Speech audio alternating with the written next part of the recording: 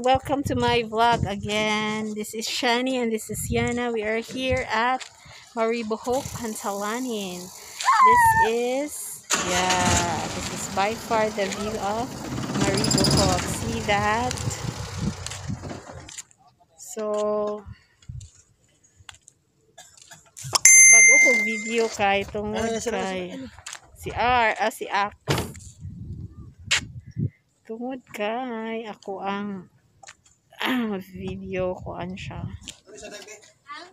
Pang siya. Kay blurry.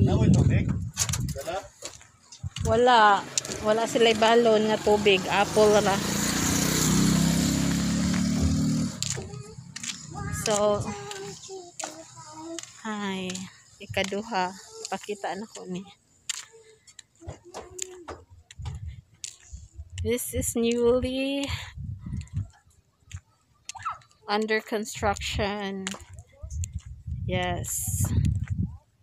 Under construction of the uh, Pantalan. Of the Pantalan, good.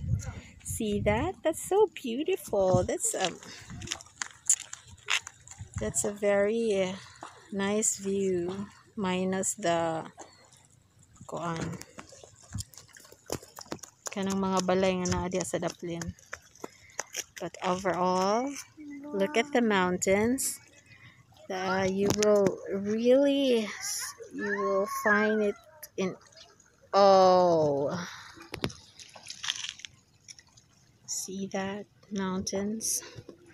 Right there. Hi say hi to my vlog Yana.